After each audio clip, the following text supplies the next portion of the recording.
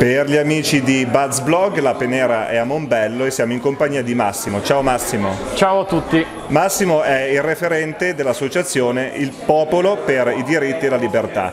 E di cosa si occupa la tua associazione Massimo? Ma guarda, la nostra associazione è nata proprio per creare un mutuo soccorso fra le persone che più avevano bisogno al momento, cioè c'è stato un momento dove tante persone sono state abbandonate, erano sole e noi quando ci siamo resi conto del, del, del, diciamo, dell'aiuto che si poteva portare a queste persone abbiamo creato eh, tramite un direttivo e di conseguenza persone intorno a questo direttivo che volevano lavorare proprio per supportare le persone che più, che più, cercavano questo aiuto, quindi dando loro magari un supporto a livello anche alimentare perché magari non potevano uscire di casa e abbiamo portato loro le spese a casa, persone che erano sole e quindi avevano bisogno di questo, persone che avevano bisogno anche solo di un medicinale, non potevano uscire di casa, abbandonate a se stesse. E di conseguenza da lì il gruppo ha iniziato a prendere una certa strada, a prendere un altro percorso e stiamo cercando di organizzare tante cose sul territorio. Quindi siete nati eh, come risposta a quelle che sono state le restrizioni per il coronavirus? Assolutamente sì, assolutamente sì.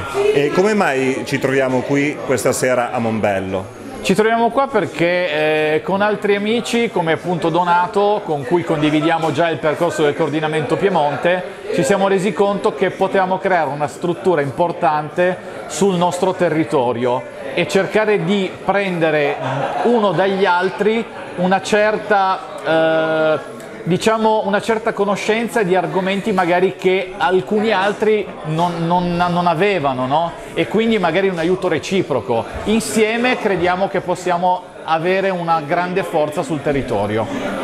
Come vedi il domani?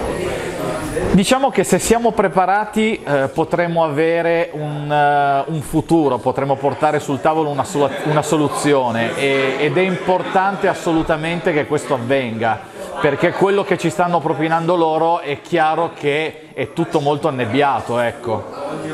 Le piazze negli ultimi mesi, se non eh, nelle ultime settimane, si sono un po' svuotate. Cosa fare per riportare la gente in piazza e farla sentire nuovamente coinvolta? È giusto che il popolo si renda conto della consapevolezza dei propri poteri. Se il popolo riesce a comprendere quanto è importante sapere che comunque il popolo ha in mano il potere, Ecco allora che potrebbe cambiare la regola del gioco. Dobbiamo riempire le piazze ma dobbiamo prima informare le persone, dobbiamo dire loro che cosa è importante e per quale motivo è importante scendere in piazza, ma dobbiamo farlo uniti e questo è fondamentale. Qual è il tuo personale motivo che ti ha spinto a fare tutto ciò che hai fatto dall'associazione Movimenti di Piazza negli ultimi due anni? La sofferenza della gente.